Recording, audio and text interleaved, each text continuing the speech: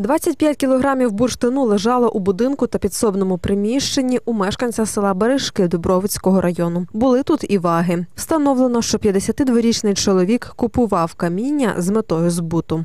Орієнтовна вартість вилученого сягає 1 мільйона 150 тисяч гривень. Наразі триває досудове розслідування. Правоохоронці встановлюють усі обставини події. За цим фактом відкрито кримінальне провадження за статтею 198 Кримінального кодексу України, тобто зберігання або збут майна, здобутого завідомо злочинним шляхом.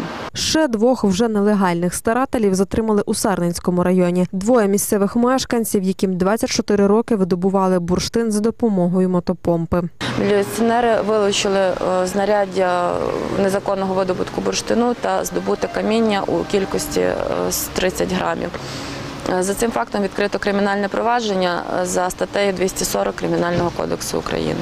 Санкція інкримінованої статті передбачає від штрафу до трьох років позбавлення волі.